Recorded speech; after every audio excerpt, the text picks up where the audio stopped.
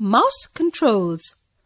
When you take a picture, the camera makes a click sound. Pressing a mouse button and leaving it quickly also makes a similar sound. Pressing the mouse button once is called clicking.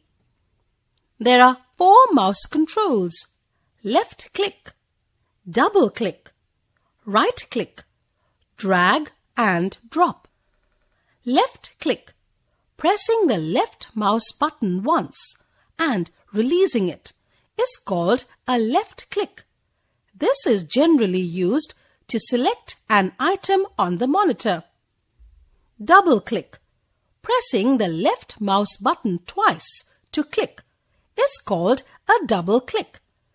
This is used to open a window on the computer. Right click, pressing the right mouse button once and releasing it is called a right click. It shows a list of commands. Drag and drop, pressing the left mouse button, moving the mouse and then releasing it is called a drag and drop.